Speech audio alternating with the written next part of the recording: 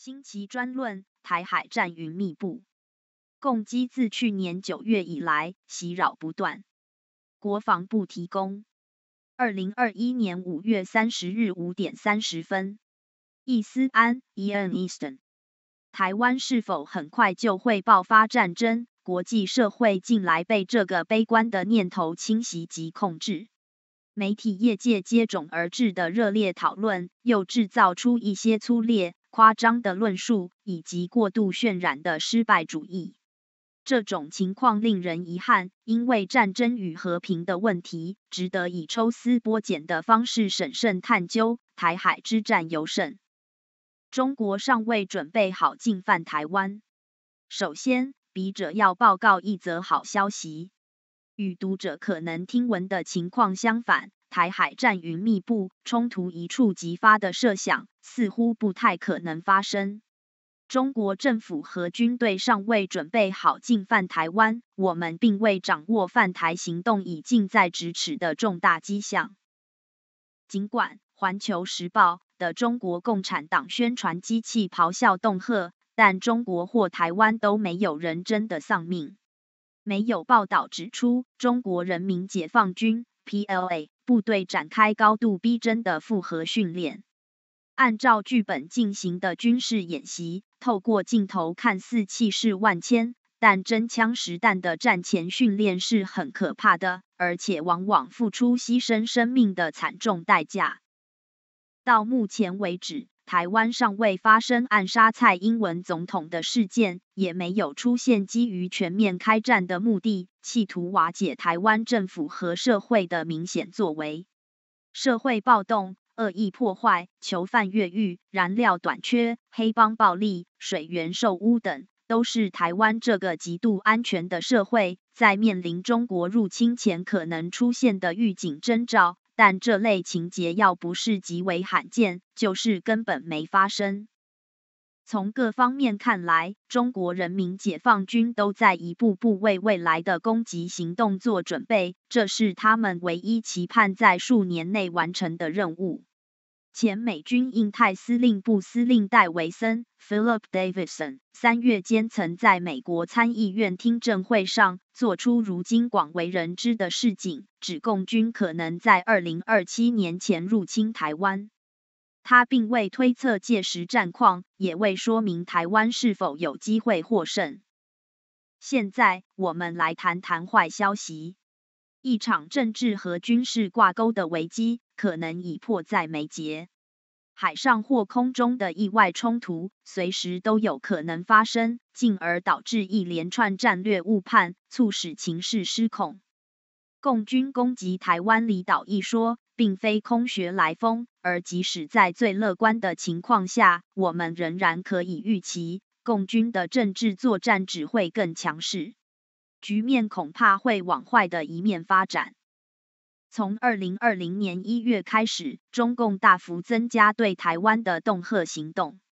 在默认台湾海峡中线的概念数十年后，北京如今宣称台海中线没有意义，不复存在。之后便派出数量惊人的军机越界，这是令人不安的举动，揭示中共的不良企图。卫星影像捕捉到，中国已在距离台湾最近的福建省扩建两座军用机场，包括预计可供大量新造直升机使用的跑道和停机坪等设施。而且，共军已成立新的两栖作战部队，并启用大型两栖攻击舰，而这些仅是先锋部队。中国的军工体系 （Military Industrial Complex）。正致力于包山包海的军备武器计划，这是一九三零年代以来陈平时代从未出现过的情况。这也说明了中共的居心不良。左右当前情势的最重大因素，似乎在于习近平自身的独武世界观和侵略行径。他一路肃清异己，登上权力巅峰，变成一个彻头彻尾的独裁者。这让每一个人都陷于险境之中。在正常情况下，我们可以安心的认为，北京当局不太可能下令攻打台湾，因为他们并未集体失去理智。但不幸的是，我们的历史教科书上不乏习近平这类暴君，其中有许多人最后都变成丧心病狂之徒。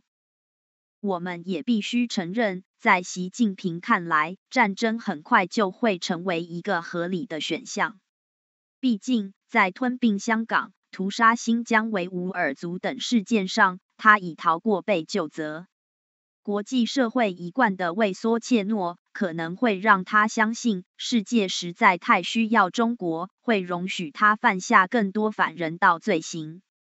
近期的局势演变可能会让习近平做出误判，台湾应更多作为提升自卫力。幸好台湾还可以有很多作为，以提升自卫能力。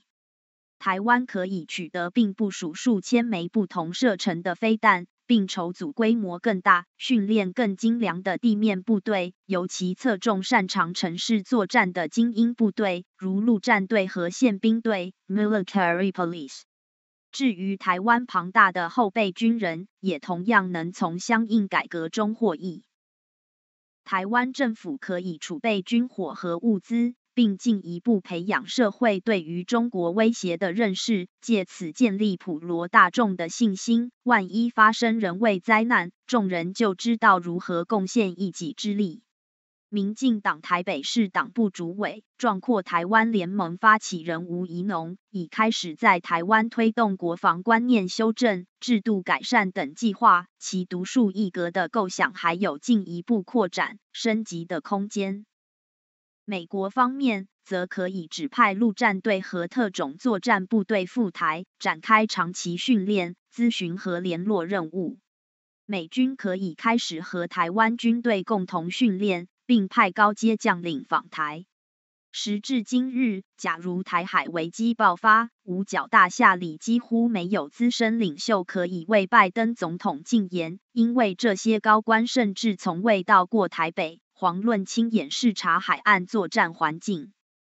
美国最不应该做的，就是继续对北京让步，固守那些造成台湾遭受外交孤立、持续弱势无助的现有政策。美国领导阶层不应该奖励习近平的胁迫行动，而是应该更坚定地下阻他下令攻台。